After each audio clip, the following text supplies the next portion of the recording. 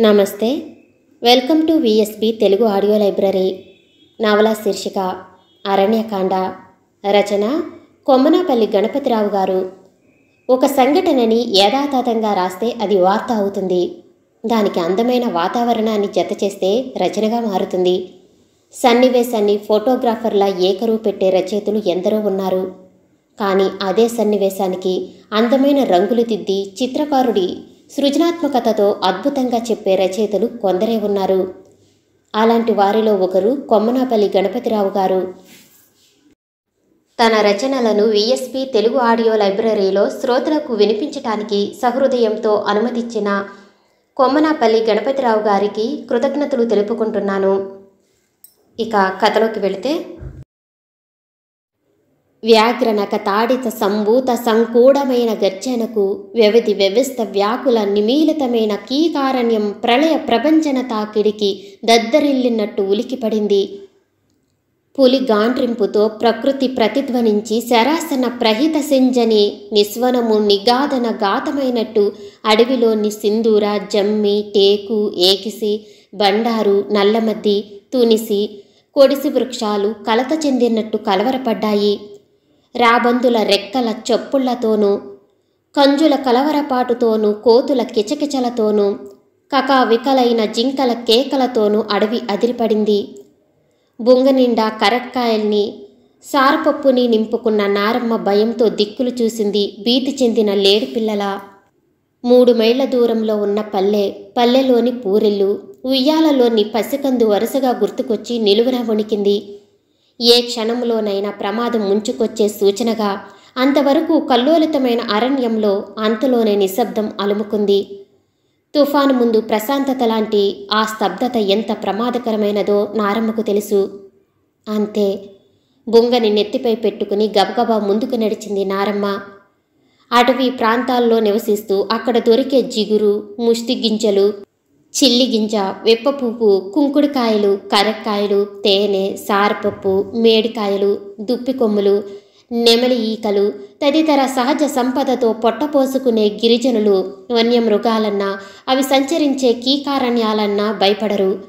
తరతరాలుగా మార్పులేని జీవనశరళి ఇది. క్రూర ముగాల క్రీనీడల్లో బ్రతుకుల్ని వెళ్ళమార్చటమే వారి దైనందిన జీవితం. ప్రమాదం పొంచి ఉందని తెలిసినా అడవుల్లో తిరగటం. ప్రాణాలకు తెగించి తెచ్చుకున్నది దళారీల చేతుల్లో పోసి అందిన వాటితో తృప్తిపడటం వారి జీవిత విధానం.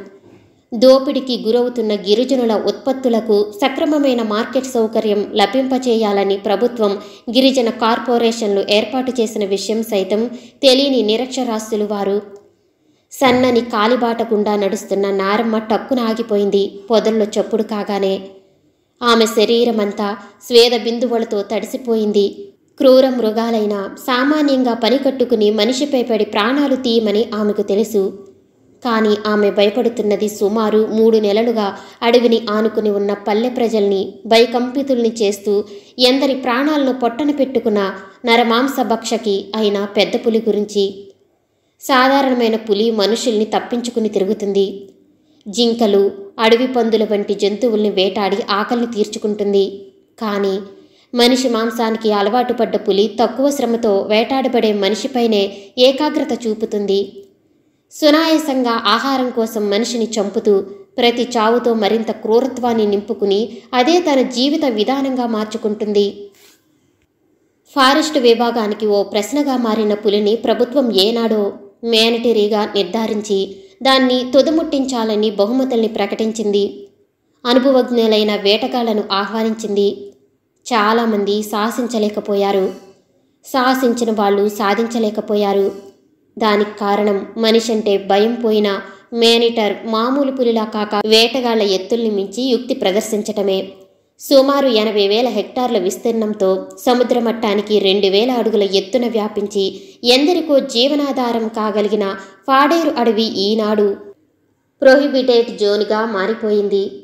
ఈశాన్యాన బారులు తీరిన కొండలతోనూ దక్షిణాన దట్టంగా పెరిగిన వెదురు పొదలతోనూ ఆగ్నేయ దిశలో అందంగా పరుచుకుని ఉన్న టేకు దేవదారు సింధూర యూకలిప్టస్ వృక్షాలతోనూ నడుములోయలతో చీలిన గుట్టలతో నిన్న మొన్నటి వరకు ఎంతో ఆహ్లాదకరంగా దర్శనమిచ్చిన ఆ ఆకృతి ఈనాడు మృతు గహ్వారమై ఎందరి అరణ్య రోదనలకో మరెందరి కన్నీళ్ళకో ఆలవాలమైపోయింది. అడవిని నమ్ముకుని బ్రతకడమే అలవాటైన పల్లె ప్రజలకు పులి ఓ పెద్ద అవరోధమైంది. పిల్లల్ని పోగొట్టుకున్న తల్లిదండ్రులు కడుపుకోతకి పసుపు కుంకుమల్ని కోల్పోయిన స్త్రీల గుండె మంటకి కారణమైన పులికి భయపడిన గిరిజనులు అడవిలో అడుగు పెట్టలేకపోతున్నారు. ధైర్యం చేసి అడుగు పెట్టిన వారు ఇంటికి చేరే వరకు మరో రోజు గురించి ఆలోచించలేకపోతున్నారు. సంధ్య చీకట్లు ముసురుకోకముందే తలుపులు బిడాయించుకుని బిక్కుబిక్కుమంటూ గుడిసెల్లో దిక్కుతోచని వారిలా బ్రతకటం అలవాటు చేసుకున్నారు. అర్ధరాత్రి వేళ ఒక ఎండుటాకు నలిగిన చప్పుడైతే మృత్యు కరాళ దంష్ట్ర మధ్య ఏ నిర్భాగ్యుడి జీవితమో అంతమవుతుందన్న సందిగ్ధం. దూరాన పాలపిట్ట కూత వినిపిస్తే ఏ క్రూరముగానికో ఓ పసికందు బలైపోతూ చేస్తున్న ఆతనాదనమన్న భయం. ఆకాశంలో దూసుకుపోయే తీతువు అరుపులు విని తెల్లారేసరికల్లా ఏ బ్రతుకు తెల్లారిపోతుందోనన్న సంశయం. నిజానికి ఆ రోజు కూడా నారమ్మ అడుగులో అడుగుపెట్టే సాహసం చేసేది కాదు కానీ అప్పటికి పది రోజుల కిందటే ఇంటిలోని సాధుబియ్యం నిండుకున్నాయి. డిప్పలో దాచుకున్న జీలుగు కళ్ళు ముందు రోజు వరకు సర్దుకు వచ్చిన మొగుడు రంగయ్య సత్తువు లేనట్టు ముసుగు తన్ని పడుకున్నాడు. కడుపులో ఆకలి రక్కసి నర్తిస్తున్న నారమ్మ కలవరపడలేదు. కానీ ఆమె కడుపు నిండకపోవటంతో పాలు ఊరక పొత్తిళ్ళలోని పసిబిడ్డ డొక్క ఆర్చుకుపోతుంటే కలత చెందింది. గుక్కెడు గంజి నీళ్ళైనా తాగితే పసికందుకు పాలు దొరికి ప్రాణాలు నిలబడతాయన్న ఆశతో మొగుడు వద్దంటున్న అడవికి బయలుదేరింది. ఇంతలో పులి రక్కసి పెనుభూతంలా పెట్టిన పొలికేక వెదురు పొదల్ని దాటుతూ ఉరుకురికి వస్తుంది నారమ్మ. దిగజారిపోతున్న ధైర్యాన్ని కూడగట్టుకుంటూ అరికాలులో గుచ్చుకున్న తుమ్మముళ్ళు నలుపుతుంటే బాధను నిగ్రహించుకుంటూ నిస్రాణనగా ఒళ్ళు తూలిపోతుంది. నీరసంతో ఎక్కడ కూలిపోతానో అన్న బాధతో రొప్పుతూ నడుస్తున్న నారమ్మ టక్కున ఆగిపోయింది. సరిగ్గా అప్పుడే ఒక్క అరక్షణం కిందటే రెల్లు పొదల మాటు నుంచి ముందుకొచ్చి నిలబడింది పెద్ద పులి. గగుర్పాటుతో నారమ్మ ఒళ్ళు జలధరించింది. బంగారు రంగు చర్మంపై నల్లటి పొడలతో మనిషి మాంసాన్ని తిని పెంచుకున్న బలిష్టమైన శరీర నిర్మాణంతో ఒక చిన్న పర్వతం కదిలి వచ్చినట్టు తెగువగా కాలిబాటను చేరుకుని గర్వాతిశయంతో కరాల దంస్ట్రల్ని చూపుతూ నిలబడి ఉన్న మేనిటైర్. క్షణాలు గడుస్తున్న కాలం చెల్లిపోతుందని గ్రహించింది నారమ్మ. అంత భయంతో కూడా నారమ్మకు పసికందు గుర్తుకొచ్చాడు. ఒక గాలి కెరటం ఆమెకు తాకి. అమ్మా ఆకలే అని కొడుకు జాలిగా పిలిచినట్టు గుండెల్ని కోసి వెళ్ళిపోయింది. ఆమె కళ్ళు నీటి కుండలయ్యాయి. పొట్టని నేల కానించి తదేకంగా తన వేసే ఆకలితో చూస్తున్న పులితో పల్లెలోని పసికందుకు పాలు పెట్టి తిరిగి వచ్చి నీకాహారం అవుతానని దీనంగా చేతులు జోడించి వేడుకోవాలనుకుంది. కానీ అప్పటికే నేలపై నాలుగడుగుల దూరం ప్రాకిన పులితో పల్లెలోని పసికందుకు పాలు పెట్టి తిరిగి వచ్చి నీకాహారం అవుతానని దీనంగా చేతులు జోడించి వేడుకోవాలనుకుంది. కానీ అప్పటికే నేలపై నాలుగడుగుల దూరం ప్రాకిన పులి తోకను యూ ఆకారంలో పైకి లేపింది. ప్రత్యర్థిపైన గాని వేటాడాల్సిన ప్రాణిపైన గాని లంఘించే ముందు పులి తన సంసిద్ధతను ఇలాగే వ్యక్తం చేస్తుంది. జరగబోయేది తెలిసిపోయిన నారమ్మ ఒంటిలోని రక్తమంతా పాలగా మారి కుడివక్షం బరువెక్కింది. తన ప్రాణాల కంటే పసికందుపై మమకారం పెళ్ళుబికింది ఒక్కసారి చిట్ట చివరిసారి పసికందును ప్రేమగా దగ్గరకు తీసుకోవాలని ఒక జీవిత కాలానికి సరిపడ్డంత ఆర్తితో వాడి ఆకలి తీర్చాలని మనసు ఉవ్విళ్ళూరుతుంది. మరుక్షణం ఆ నిశ్శబ్ద ప్రకృతి ఓ నిర్భాగ్య స్త్రీ ఆతనాదంతో ప్రతిధ్వనించింది. ప్రత్యక్ష సాక్షిగా నిలబడ్డ సూర్యుడు క్షణం పాటు నిశ్చేష్టుడై తర్వాత నిస్సహాయంగా పడమటి కొండలు వైపు కందిన మొహంతో ప్రయాణం కొనసాగించాడు. పంజా దెబ్బకి నేల కొరిగిన నారమ్మ చివరి క్షణంలో బాధపడింది. ప్రాణాలు పోతున్నందుకు కాదు. పసికందుకి పాలు కుడపాల్సిన వక్షం పురి రెక్కసి పాలై చిరిగిపోయినందుకు చివికినందుకు.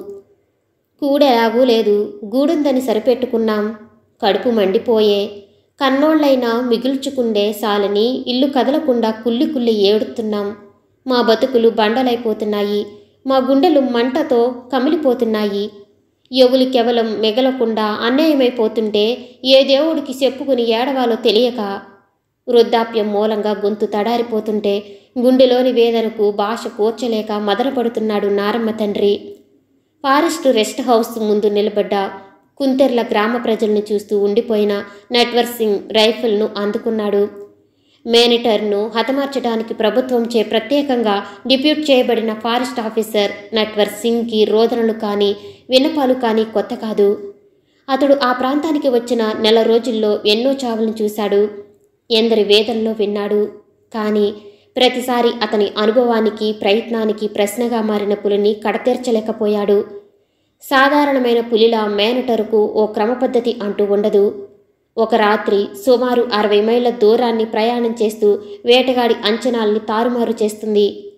అనుకోని చోటు హఠాత్తుగా దర్శనమిచ్చి మనుషుల్ని బలి తీసుకుంటుంది.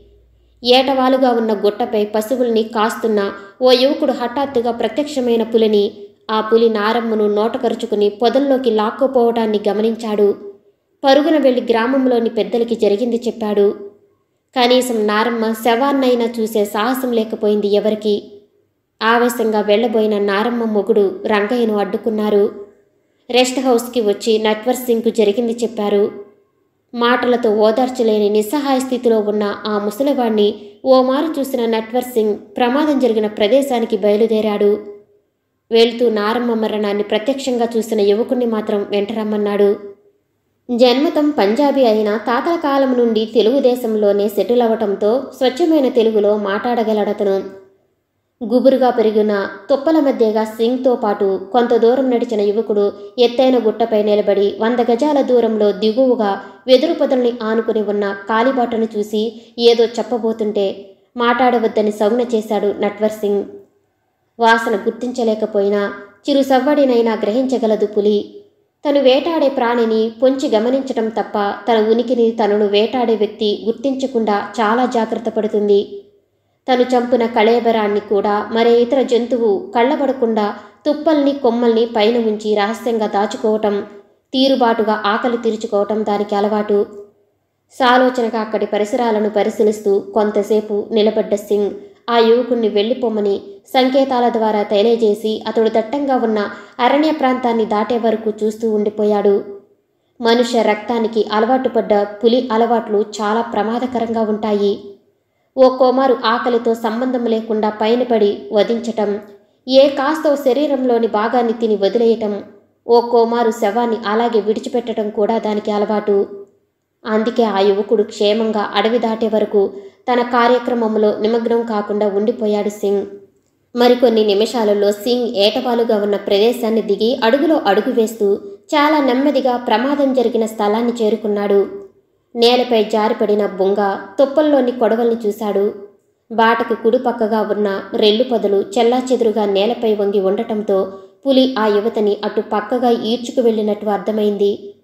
నెమ్మదిగా ఏమాత్రం సవ్వడి చేయకుండా పొదల్లో అడుగుంచి కాస్త ముందుకు నడిచాడు. నేలపై ఇసుకలో పులి అడుగుజాడలు కనిపించాల్సిన విధుల్లో ఇది ఒకటి. పులి అడుగుజాడల్ని పరిశీలిస్తే తప్ప అది ఏ పక్క వెళ్ళింది వేటగాడు గుర్తించలేడు. లెగ్ మార్క్స్ బట్టి అంతకు పూర్వం తనకు పరిచయమైన అడుగుజాడల్ని బేరీజు వేసుకుని అది మేనటిరుగా నిర్ధారణ చేసుకున్నాడతను. మరి కాస్త ముందుకు నడిచాడు. చాలా ఏకాగ్రతగా దిక్కుల్ని పరికిస్తూ ఏమాత్రం అజాగ్రత్తగా ఉన్నా ఊహించని రీతిలో ఏ పొదల మాటు నుంచో పైనబడి ప్రాణాలు తీస్తుంది పులి. పులి ఎక్కడ ఉన్నది తెలియనంతసేపు వేటగాడికి ఇది అగ్ని పరీక్షే. నిర్మానుష్యంగా ఉన్న అడవిలో అందులోనూ చాలా ప్రమాదకరమైన మేనిటరును ఎదుర్కోవటానికి గుండె నిబ్బరం మాత్రమే కాదు. ఏ చిరు సవ్వడినైనా గుర్తించి వెనువెంటనే తీసుకోవలసిన నిర్ణయంపైనే వేటగాడి మేధస్సు ఆధారపడి ఉంటుంది. రేళ్ళు పొదలు దాటాక ఇరవై అడుగుల దూరం వరకు పులి అడుగు జాడలు పడని రాతి ప్రదేశం కావటంతో ఆగిపోయాడు నట్వర్ సింగ్. అక్కడి నుంచి పులి ఏ పక్క వెళ్ళింది వెంటనే నిర్ధారణ చేసుకోలేకపోయాడు.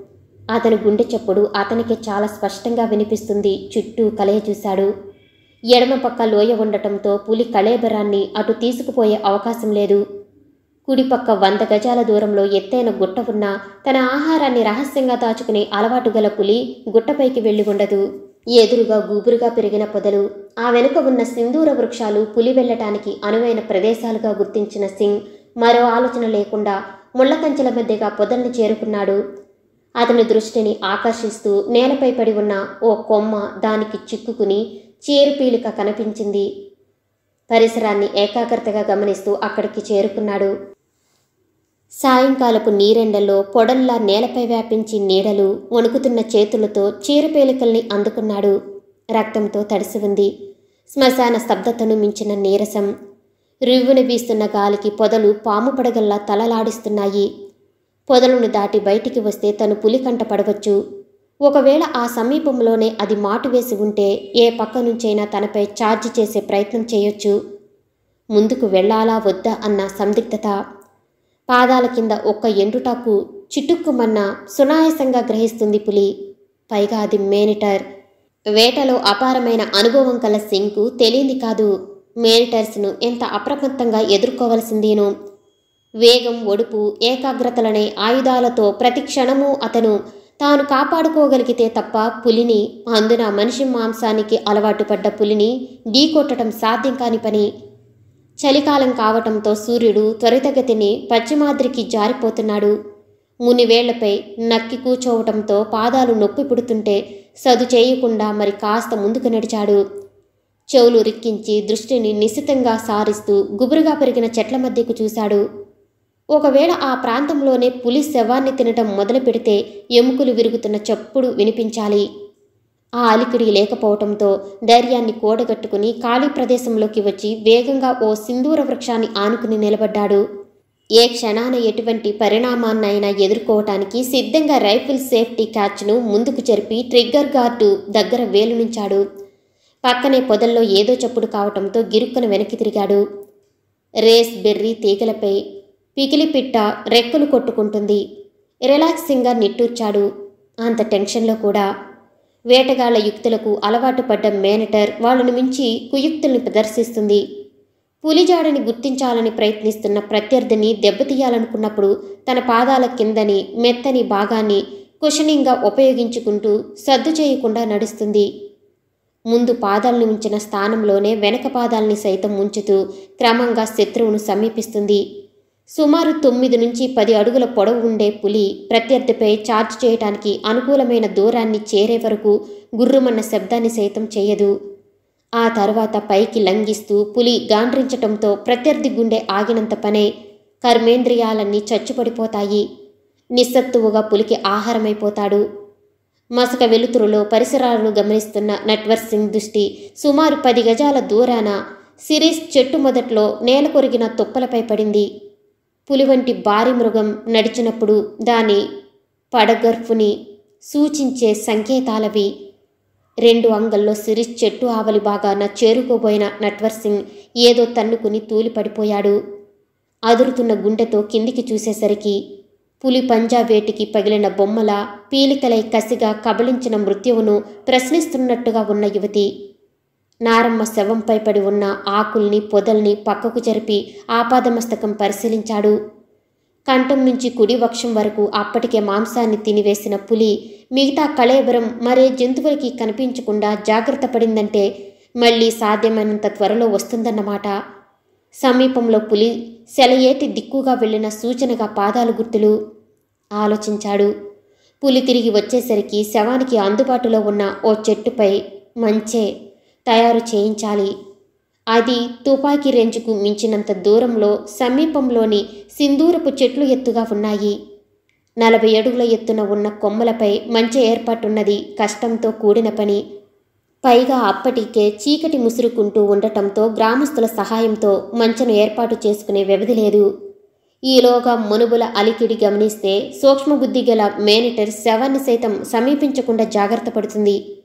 అవకాశాన్ని వెంటనే సద్వినియోగపరుచుకోవాలంటే మంచి లేకుండానే సరాసరి చెట్టుపైన కూర్చోవాలి. ఎన్నోసార్లు విఫలుడైన తను ఎంత రాత్రైనా మాటు వేసి అటు అటవీ శాఖకి ఇటు పల్లె ప్రజలకి సమస్యగా మారిన మేనిటర్ను అంత చేయాలి. చాలా దృఢంగా నిర్ణయించుకున్నాడు. హఠాత్తుగా గుర్తుకొచ్చింది టార్చ్ తను తేవటం మరిచిన విషయం. అతడు నిజానికి బయలుదేరింది మృత కళేబరాన్ని. పులి ఉన్న పరిసరాలను ట్రాక్ చేయాలని తప్ప మాటు వేయాలని కాదు. అసలే చీకటి రాత్రులు. గుబురుగా పెరిగిన చెట్లు నక్షత్రాలు. వెలుగును సైతం నేలపైకి జారనివ్వని కాళరాత్రిలో పులిరాకను గుర్తించటం కష్టం. అనుమానం కలగగానే టార్చి వెలిగించటం. కాంతి కిరణాల వెలుగులో పులి తొట్టుపడి నిలబడి ఉండగా రెప్పపాటులో గురి చూసి తుపాకీని పేల్చడం ఓ ప్రాసెస్. వేగంగా నడిస్తే పది నిమిషాల్లో రెస్ట్ హౌస్ని చేరుకోవచ్చు. సింగ్ ఆలస్యం చేయలేదు. అడవిలో పక్షులు గూళ్ళుకు చేరుకుని అసుర సంధ్య వేళను సూచిస్తూ చీకటికి ఆహ్వానంగా కూతలు పెడుతున్నాయి రాత్రి పక్షులు. ఆ వేళలో చెట్లపై విశ్రమించిన కోలంకి మైనా భరద్వాజ పిట్టలు పాడే పాటలు అడవి అందాన్ని ఇనుమడింపచేస్తుంటే ప్రకృతి కాంత హృదయ నాదాల్లా వినిపించే సంగీత జురికి సింగ్ ఎప్పటిలా పరవశించలేకపోయాడు. అతడి ప్రస్తుత మానసిక స్థితి వేరు. హడావిడిగా రెస్ట్ హౌస్ని చేరుకున్నాడు. స్టాండ్కు అమర్చిన డబుల్ బేరల్ గన్ మరో హైవేల సిటీ రైఫిల్ను క్షణం పాటు చూశాడు. అతడి చేతిలో ఉన్న zero five three seven five magnet రైఫిల్ని ఆ రోజు ఉపయోగించాలనిపించింది. మేనటర్ విషయంలో వరుసగా రెండు కార్డిటెస్ మాత్రం ఫైర్ చేయగల డబుల్ బేరల్ గన్ కంటే ఒకదాని వెంట మరొకటి ఐదు రౌండ్లు ఉపయోగించే అవకాశమున్న మ్యాగ్నమ్ రైఫిల్ను వాడటం సమంజసం. ట్రౌజర్లో మరికొన్ని బుల్లెట్స్ నింపుకుని ఎలక్ట్రిక్ టార్చ్తో సహా బయటికి నడిచాడు. ఎదురుగా పూల సజ్జతో నిలబడి ఉంది తులసి. మలి సంధ్యలా దర్శనమిచ్చిన తులసిని ఆ సమయంలో అక్కడ చూడటంతో ఆశ్చర్యపోయాడు నట్వర్ సింగ్. వెళుతున్నారా? దీనంగా అడిగింది. అతడు వెళ్ళేదెక్కడికో ఆమెకు తెలుసు. ఆమె అడిగేదేమిటో అతనికి తెలుసు. తప్పదు అన్నాడు. మసక వెలుతురులో ఆమె నేత్రాంచలాలలో ఉబికిన నీళ్ళు అతన్ని కలవరపెట్టాయి. రేపు కలుద్దాం. ఆలస్యమవుతుంటే వెళ్ళబోయాడు. తల అడ్డంగా ఊపింది. మీతో ఒక ముఖ్య విషయం చెప్పాలి. ఆగిపోయాడు. ఆమె అశ్రుపూరిత నయనాల కేసి చూశాడు. ఏంటన్నట్టుగా? రేపు చెబుతాలేండి? తల వంచుకుంది. మృదువుగా నవ్వాడు ఆమె తల నిమురుతూ. ఆమె ఎవరో అతనికి తెలుసు. కానీ తనని ఎందుకు కోరుకుందో అతనికి తెలీదు. ముప్పై ఏళ్ళ బ్రహ్మచారి అయిన నట్వర్ సింగ్ తొలిసారి మానసికమైన స్పందనకి గురయ్యాడు ఆమె సన్నిధిలోనే. ఒకనాడు అడవిలో తిరుగుతున్న వనకన్యలా దర్శనమిచ్చిందామె. మాట్లాడాలన్నంత తమకంతో అతడు ముందుకు రాగానే తొలి ఉషస్సులా అతడి కదిలించిన ఆ కన్య మలి సంధ్యలా మాయమయ్యింది. వెర్రుచూపులు చూస్తున్న అతన్ని వాగు అంచున నిలబడి కిన్నెరసాని కిలకిలలతో మైమర్పించింది. క్రూర ముగాల వేటతో రాటుదేరిన సింగ్ మనసును తూటాతో పని లేకుండా లొంగ తీసుకుంది. మాటలతో కోటి జన్మల బంధాన్ని మూటగట్టింది. వాగుల అతన్ని పెనవేసుకుని జలపాతంగా మారింది. బంధం పెరిగాక నర్మ గంభీరమైన నదిలా నిశ్చలంగా పారుతూ అతన్ని కాపాడుకోవాలని ఆర్నిసలు ప్రయత్నిస్తుంది. ఏదో చెప్పాలని పెదవిప్పుతుంది చెప్పలేక మరలిపోతుంది. నిస్సహాయంగా ఆమె కంట తడిపెట్టుకోగానే ఆరాధనాభరితమైన ఆనంద బాష్పాలు అనుకుంటాడు తప్ప అంతకంటే మరో ముఖ్య విషయాన్ని ఆమె చెప్పలేక నలిగిపోతుందని ఏనాడు గ్రహించలేదు. వీలైనంత త్వరగా ఈ ప్రాంతం విడిచి వెళ్ళండి. ఇంతకు మించి ఆమె ఏనాడు అసలు రహస్యాన్ని విప్పి చెప్పలేకపోయింది. వెళ్ళనా? అడిగాడు వెళుతూనే. నేను రానా? తన దగ్గరికి రావటమే తెలిసిన నట్వర్ సింగ్ అనువుగాని వేళ రావటమే కాక తనతో కూడా వస్తాననేసరికి విమ్రంగా చూశాడు. ఎప్పటికి తిరిగి వస్తానో తెలీదు. అతని మాటలో ఏ అపశృతి వినిపించిందో మరి. మీతోనే ఉంటాను అంటూ బయలుదేరింది. నచ్చ చెప్పపోయాడు వన్యమృగాలంటే భయం లేని తులసి వారించినా వినలేదు. మరికొన్ని నిమిషాలలో దట్టమైన అడవిలోకి ప్రవేశించారు. అప్పటికే చీకటి ఆవరించి చీకటి గుహలో అడుగుపెట్టినట్టుంది వారి పరిస్థితి. చప్పుడు చేయకుండా అంతకు ముందు నిర్ణయించుకున్న మద్ది చెట్టును ఆమెతో సమీపించి ఆమెను పైకెత్తి కొమ్మపై కూర్చోబెట్టాడు. రైఫిల్ను టార్చిని ఆమె చేతికందించి సింగ్ కూడా చెట్టుపైకెక్కి గుబురుగా ఉన్న కొమ్మల్లో కూర్చున్నాడు. ఓ గుడ్లుగూబ టపటపాల రెక్కలు కొట్టుకుంటూ పైకెగిరింది. ఫారెస్ట్ గార్డ్ తవిటయ్య తల్లి ఆరోగ్యం సరిలేదని వారం రోజుల కిందట ఊరు వెళ్ళాడు. ఇప్పుడు అతనికి బదులు తులసికి అతని డ్యూటీ అప్పచెప్పాడు. టార్చిని మాత్రం ఆమె చేతిలో వదిలి రైఫిల్ను తను అందుకున్నాడు. టార్చిని ఎప్పుడు వెలిగించాలో ఆమెకు తెలుసు. చీకటి అలవాటైన సింగ్ కళ్ళకు అరవై గజాల దూరంలో సిరీస్ చెట్టును ఆనుకుని ఉన్న శవం అస్పష్టంగా కనిపిస్తుంది. ఎత్తుగా ఎదిగిన చెట్లు బోతాల నీడల్లా భీతిని గొలుపుతూ రాకాసి లోయల్లో ఉన్నట్టుగా ఉంది. రేయి గడుస్తున్నా పులి జాడలేదు. చీమ చిటుకుమంటే వినిపించేటంత నిశ్శబ్దం. కళ్ళను మరింత చిట్లించి పరిసరాలను చాలా ఏకాగ్రతగా గమనిస్తున్నాడతను. నిశ్శబ్దాన్ని చీలుచుతూ ఆకాశంలో తీతువు అరిచింది.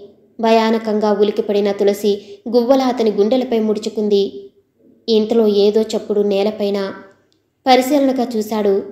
ఎంత దూరాన ఉన్న గాలి ద్వారా శవం దుర్గంధాన్ని గుర్తించగల నక్కలు రెండు నిశ్శబ్దంగా వచ్చి శవం కాళ్ళు పీకుతింటున్నాయి. తులసి చూడలేనట్టు తల తిప్పుకుంది.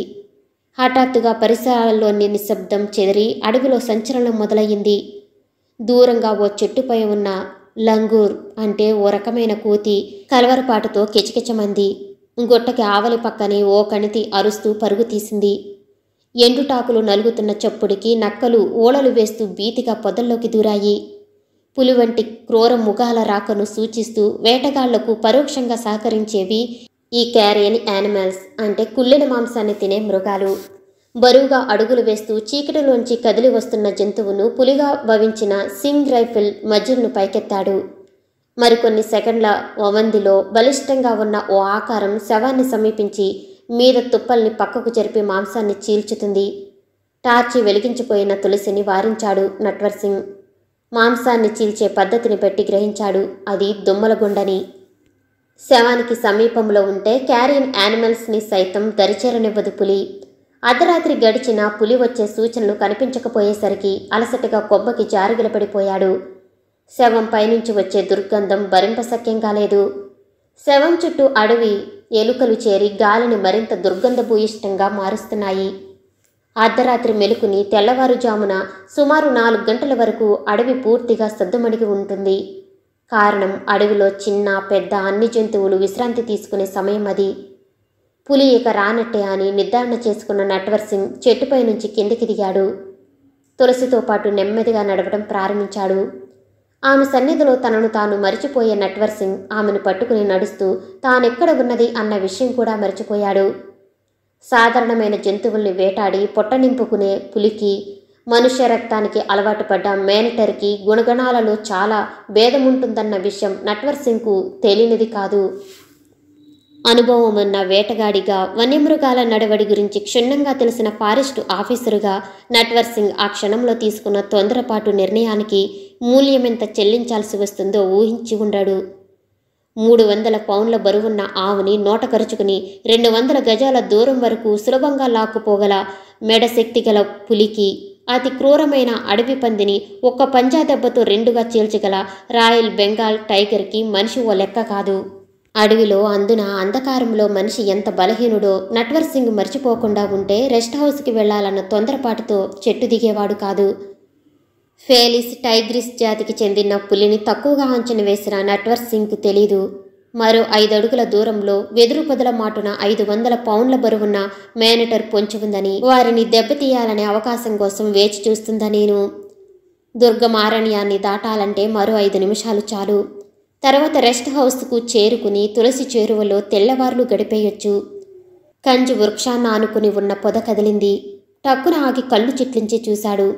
సహజంగా ధైర్యవంతుడైన నట్వర్ సింగ్ కానీ అప్పటికే ఆలస్యమయ్యింది. అతని చేతులు రైఫిల్ను బలంగా పట్టుకుని పైకెత్తబోతుండగా అడవి దద్దరిలేటట్లుగా గాండ్రించిన మేనటర్ కుడి పక్క నుంచి అతని పైకి దుమికింది. పాయింట్ బ్లాంక్గా టిగ్గర్ నొక్కడంతో తోట చెట్టును దూసుకుపోయింది తప్ప పులి ఆగమనాన్ని ఆపలేకపోయింది. నేలపై వెలుకలపడిన నట్వర్ సింగ్ కుడి జబ్బ పంజా దెబ్బతో వేరైపోయింది. తుపాకి నేలపై పడింది.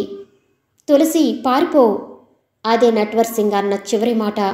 పెద్ద పులి తులసిపై విరుచుకుపడే ప్రయత్నాన్ని నిరోధిస్తూ ఎడమ చేతితో శక్తిని కూడగట్టుకుని పులిమెడని పట్టుకున్నాడు. మరుక్షణం అతని కంఠం పదునైన పులిగోళ్ళ తాకిడికి చీలి రక్తం వాగులా బయటకు చిమ్మింది.